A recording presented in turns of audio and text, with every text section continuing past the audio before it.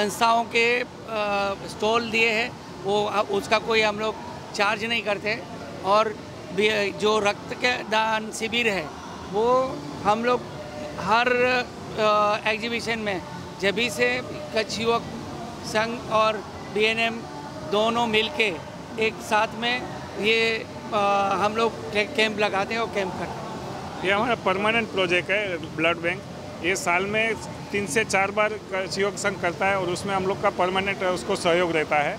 तो एक social responsibility समझते हैं कि एक एसोसिएशन की सोशल रिस्पॉन्सिबिलिटी भी बनती है वो हम इस ज़रिए पूरी करते हैं। दिसंबर महीने में कच्छ युवक संघ के साथ में जितने भी कैंप होते हैं उसमें बीएनएम सहभागी होकर ड्राइव चलाते हैं।